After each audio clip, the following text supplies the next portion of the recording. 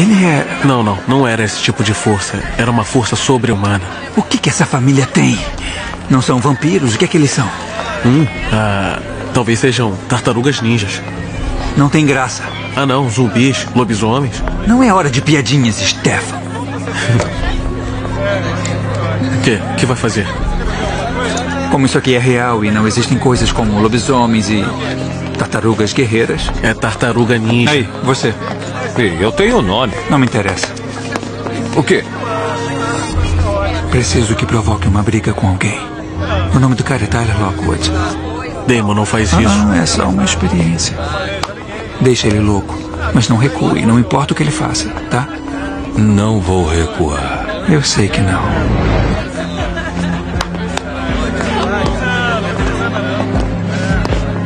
Sabe que alguém vai se machucar. Não, alguém vai morrer de raiva, do tipo fúria. Por que? Isso ajuda em quê? Aquele garoto, Tyler, é incapaz de fugir de uma briga. Vamos ver quem vai interferir. Talvez seja o tio ambiguamente sobrenatural e misterioso.